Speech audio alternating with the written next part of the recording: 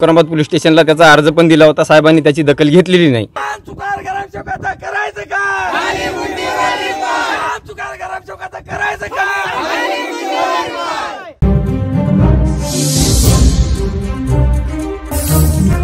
ग्रामसेवक व सरपंच यांच्या संगनमतानेच केली जलशुद्धीकरण करण्याची मोटार गायब. जागृत महाराष्ट्र न्यूजशी बोलताना गावकऱ्यांनी केला आरोप. पिण्याचे जे पाणी आहे ते आपण कुठून आणतात आम्ही शिवारानं कुणाचं ज्याचं बोर चाललं तिथं जाऊन मागून आणलं असं. गावात पाणी येत नाही का नळाला? हो येत नाही. एक महिना झालं पाणी नाही. सांडपाणी नदीचं आणू शकतो पाणी आम्ही. न येण्याचं कारण काय? आ, मोटर चोरून नेलं सर. कोणी घेऊन गेलेलं आहे? दत्ता चोरून नेला सरपंच. जसं की आपण म्हणताय की मोटर ही एखाद्या व्यक्तीने चोरून नेलेली आहे. या संदर्भामध्ये जे स्थानिक जे पोलीस स्टेशन आहे यांच्याकडे आपण तक्रारी अर्ज दिला नाही. का? एकोणीस सप्टेंबर रोजी म, तक्रार ग्रामशोकामार्फत आम्ही मुक्रामात पोलीस स्टेशनला गेले होते. संग्राम जाधव त्यांनी आम्हाला धमकी देत आहेत. काय म्हणतायत? जातीवाचक शिवाळ गेल्यावर तुमच्या विरोधात तक्रार येईल तुमच्यावर गुन्हा दाखल करण्यात येईल. तुमची तक्रार घेणार नाही. मला सांगा मोटर हे चोरी कोणी केलेली आहे? सरपंचाचा भाऊ दत्ता यादवराव बापूने. जल शुद्धीकरणाची जी मोटर आहे ही कधी चोरीला गेली होती? सतरा सप्टेंबरला. मध्ये जे ग्रामसेवक आहेत गावातील त्यांना या संदर्भात माहिती दिली होती का? हो ग्रामसेवकाला आम्ही गावामध्ये बोलून घेतलं. समक्ष त्यांना इथं पाणी फिल्टर कशी मोटर चोरीला गेलेले दाखविलं. त्यांनी फोटो काढून घेऊन गेले. यापुढे आपली काय भूमिका असेल?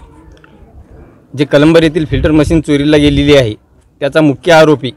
माहिती असताना आम्ही उस्मानाबाद पोलीस स्टेशनला त्याचा अर्ज पण दिला होता. साहेबांनी त्याची दखल घेतलेली नाही. तरी तरी आमची विनंती आहे की साहेबांनी याची दखल घेऊन योग्य तो न्याय आम्हाला मिळून द्यावा.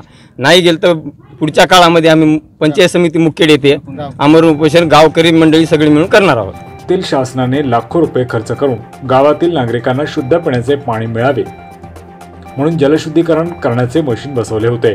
व गावातील नागरिकांना शुद्ध पिण्याचे पाणी उपलब्ध करून दिले. मात्र जलशुद्धीकरणाची मशीन ही खराब झाली आहे असे म्हणत गावातील सरपंच विठाबाई यादवराव बापूंनी यांचे भाऊ दत्ता यादवराव बापूने यांनी सदरील जलशुद्धीकरणाची मोटार चोरून नेऊन विकून खाल्ली आहे असा आरोप ग्रामस्थांनी जागृत महाराष्ट्र न्यूजशी बोलताना केला आहे. पिण्याचं पाणी नदीचं सगळं पाणी नदीचं. लेकरं लहान लहान छोटे छोटे लेकरं जी आहे ती बिमार पडलेले आहेत मोटर काढून बापूने दत्ता मोटर काढून घरात घेऊन गेलेले आहे चोरीला.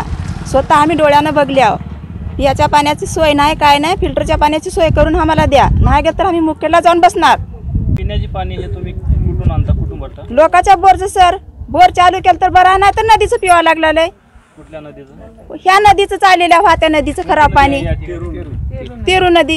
यामुळे गावातील नागरिकांना पिण्याच्या पाण्यासाठी गावापासून दोन किलोमीटर अंतरावर हातपंप विहीर व गावालगत असलेल्या तेरू नदीवरून रात्री बेरात्री जीवाची पर्वा न करता जीव मुठीत घेऊन अनवाणी पायाने चालत जाऊन पिण्याचे पाणी आणावे लागत आहे. यामुळे गावातील नागरिकांना नाहक त्रास सहन करावा लागत आहे. तर ग्रामसेवक उंटावरूनच शिळा आखण्याचे काम करत असून संबंधित सरपंचाचा भाऊ दत्ता यादवराव बापुणे यांनी आपली मनमानी करत जलशुद्धीकरणाच्या पाण्याची मोटार व कांड्या आदी साहित्य चोरून नेले आहे. व ते नेत असताना गावातील नामदेव भीमराव शिंदे ज्ञानेश्वर पंढरी निळखंडे सुभाष रामराव जिकलवाड सुभाष लक्ष्मण नागलगावे यांनी पाहिले आहे. त्यामुळे शासकीय साहित्य चोरून नेले हे स्पष्ट असताना देखील ग्रामसेवक हनुमंत अंधारे हे मूग गिळून गप्प बसले आहेत. त्यामुळे लोकप्रतिनिधी यांचा भाऊ दत्ता बापुणे यांच्यावर कुठलीच कारवाई न करता पाठराखण केली जात आहे. तर जलशुद्धीकरणाची मोटार चोरून नेणाऱ्या व्यक्ती संदर्भात स्थानिक पोलीस स्टेशन येथे तक्रार देण्याकरिता गावातील नागरिक गेले असताना स्थानिक पोलीस स्टेशनने तक्रार घेण्यास नकार दिला आहे असा आरोप गावकऱ्यांनी केला आहे. सध्या पिण्याचे पाणी अशुद्ध येत असल्याने नागरिकांचे आरोग्य धोक्यात येण्याची दाट शक्यता नाकारता येत नाही.